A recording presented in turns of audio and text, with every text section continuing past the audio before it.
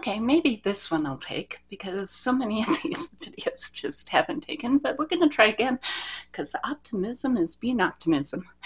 Okay, I started with the Pretty Fresh concealer, then I, um, and that's the one by ColourPop. I added on a little bit of the e.l.f. Moisturizing Concealer. This one's in light peach. Whew.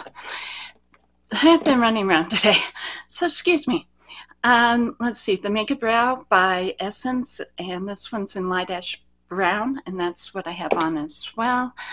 Oh, I went ahead and used the Uoma, it's complicated lip gloss. You can get this one at Walmart. It's the Uoma that's at the Walmart.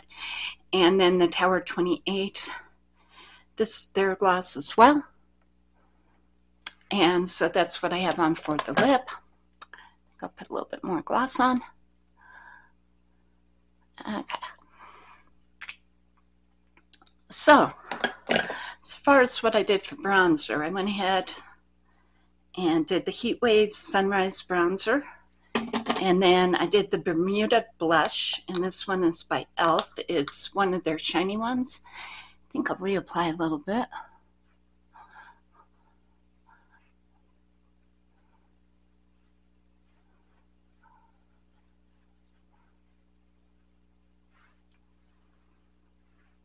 And so uh, this is this, and it's called Bermuda. It's really pretty.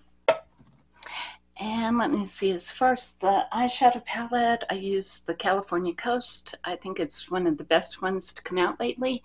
Um, it's mauve and pinky and really pretty. Let me get you a couple of swatches here.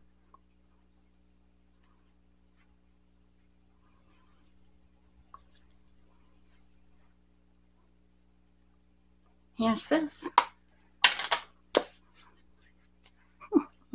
yeah. And so this way that the look is going, I actually have some new lighting going on, so I'm actually excited that, yeah, maybe able to actually see me here.